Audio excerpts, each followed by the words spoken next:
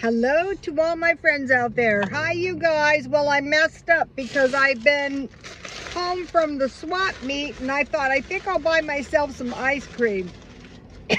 so I went to Dollar Tree and I bought two kinds that I like for $1 each. What I really don't want to do is spend money. Um, today the dog had to go to the vet, 140 something dollars. I mean, it's like hundreds and hundreds of dollars every time you turn around. You have to be so careful with your money. So in the last two weeks, I made about 300 extra dollars. So I wanted to experiment and I think I'll go for the butter pecan.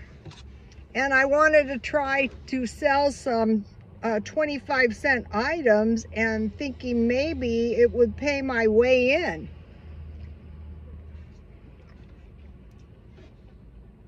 So I took a few plants and I sold a couple of um, a couple of cactus plants. No sunflower seed seedlings. I was kind of glad. I'm going to replant them in the backyard.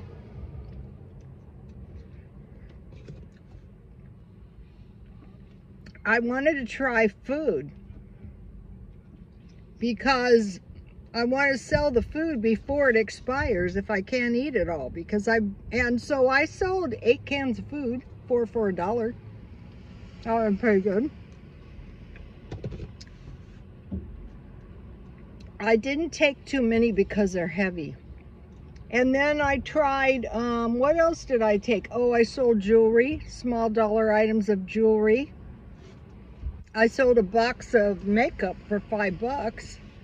But the main thing I wanted to get rid of was the clothes because they were junking up the house. So within two weeks, I pretty got, well got rid of a majority of the clothes. Well, that was good.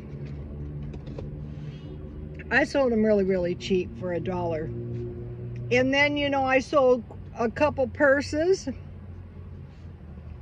I didn't sell any more camp gear.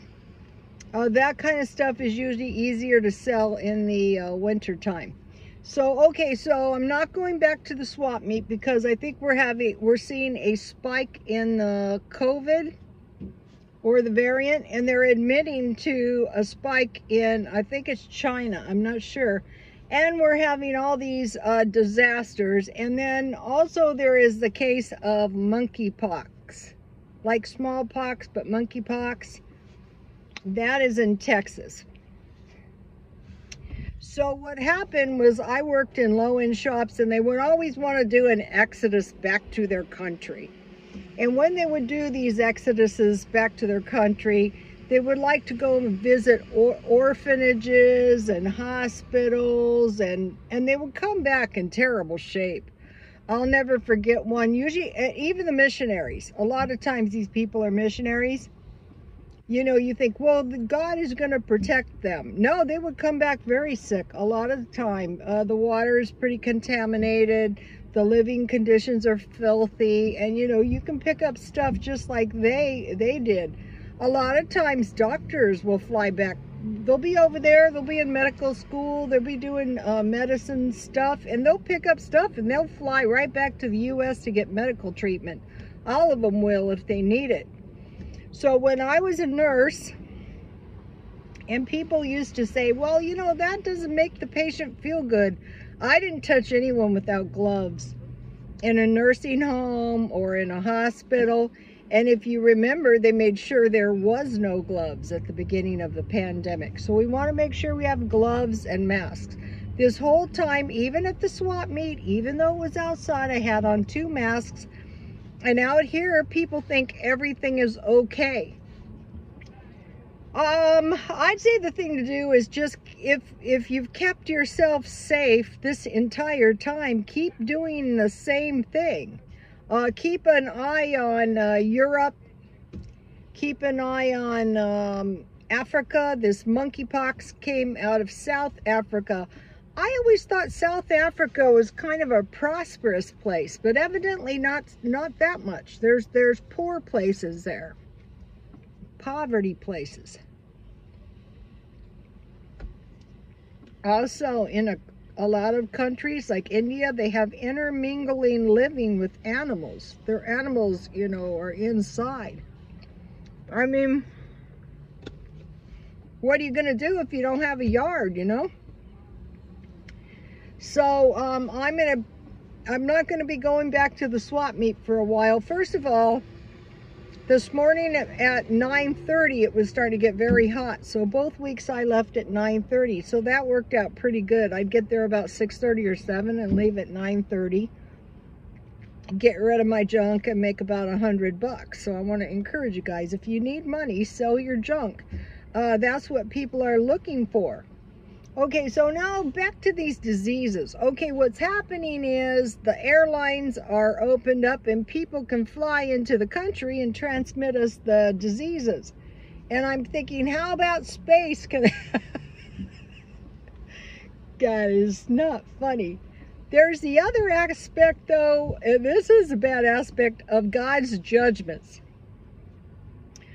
We're having all these floods so in the Bible, most of the time, the, the judgments came because the people were worshiping idols. And the bad, one of the bad things that happened were these hybrid, um, like Isis was head of a frog and body of a um, human, um, head of a goat, body of a human.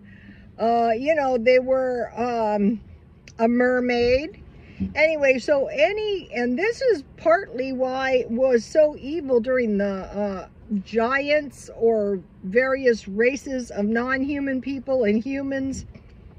So uh, the reason I think we're seeing uh, this human um, animal mixing is because it is easier for a demon to uh, inhabit one of these hybrids because they don't have a body and they want to get one. And so in the end of times, we are promised that a lot of devils are going to be let loose on us. So these devils want to get bodies. Also, they say clones, you know, where the problem with the clones or the hybrids is they have to severely agitate or traumatize the egg and denucleate that egg and put the other nucleus in and so like if you know a lot of um you know this stuff that results in well i guess you could put uh possession it you have to traumatize the person. So now of course they're very evil so they found a way to traumatize a person before the person is even born. It's very bad so another thing is like when we're seeing these judgments, you know, we're seeing these terrible catastrophes. You can say, well, you know, it's the area or whatever. So we will say to ourselves, well, is there any worship of idols going on in this country by any chance? And some of them are getting very aggressive and strong as of late. Is there any witchcraft going on in this uh, culture?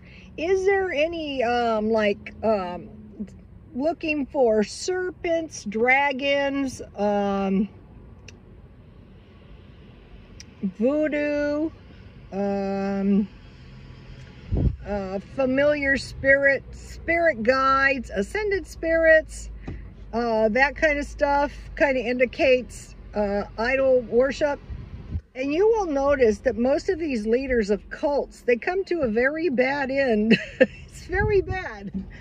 So uh, some of this stuff could be the judgments. Okay, so has this country done anything to harm other people recently and then they're receiving a judgment?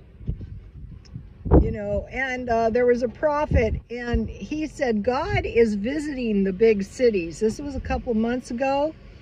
And he said it was like a mist would come over the city. And I had this dream and it was like a cloud, but not a cloud, like more uh, substantial than a cloud on top of the city. And I thought, oh, wow, I think God is visiting the city, the city. So where there's, there's now in the um, Old Testament, the judgments were for the evildoers. You, and another thing is, um, down through history. I mean, like the Aztecs, I think it was the Aztecs or the Incas, child sacrifice, you know, um, an idol god will will require some kind of sacrifice, usually of life, uh, usually requiring blood, which is very gruesome. So like when we see this really bad thing, we want to say, is there any element of of this stuff going on in these areas? Some of the areas can have strongholds of devils, and then, you know, they receive God's judgments. So we're looking for that. So, okay, you guys, I just wanted to say that about the monkeypox. If you, uh, monkeypox or shingles or anything like that, do not handle the person without gloves. Why do you think people generally wear gloves, I mean masks in, hosp in hospitals? Why do you think that's so? So they won't inhale the contaminants. And um, like at one point, they didn't even want to really alert the health caregivers that, that something was really highly contagious. So what we had to do is assume everyone is highly contagious. So that is my advice. Assume everyone's got anything and everything. Don't let yourself be cooped up in close proximity. It's very, very dangerous. A big, huge uh, crowds are very, very dangerous. Um, I must say where I was at the swap meet today, uh, I, I don't think I could have found a safer spot if I was going to do that. But I said to my son, okay, that's over for now. You know, I got rid of, I had so many clothes because I had clothes for eBay and when they didn't sell, they accumulated and I wanted to get rid of them. So I'm still being cheap. I'm still watching my money you know, um, you know, I wanted to say one more thing I forgot. Trying to make a little extra money will really help you. It could be 10 extra dollars, it could be 20 extra dollars, it could be 50 extra dollars, but when you do it continuously, it really helps in the long run. In a month, like, okay, this last two weeks I had 300 extra dollars. Well, it might have been more than that because I sold a watch on eBay. Okay, you guys, please like, comment, and subscribe. And God bless you all.